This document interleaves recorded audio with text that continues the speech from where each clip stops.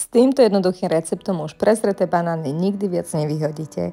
Dajú sa totiž vyrobiť tieto skvelé mafiny, ktoré sú vďaka banánom fantasticky vláčne, pekne šťavnaté, a k tomu ešte aj veľmi rýchlo pripravené, nehovoriac o tom, že je to hrnčekový recept, takže nemusíte ani nič vážiť. Postačia vám na to vajíčka, samozrejme prezreté banány, ktoré si spolu premiešate s cukrom.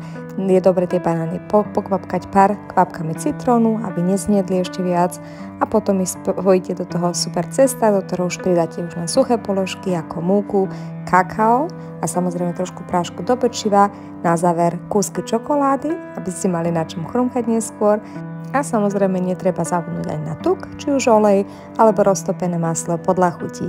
Pečenie je veľmi jednoduché, pri 180 stupňov zhruba 25 minút a už sa vám bude rozvonievať celá kuchyňa a uvidíte, že ich nebudete ani stíhať vyberať z pekáčov, ak sa budú rýchlo jesť.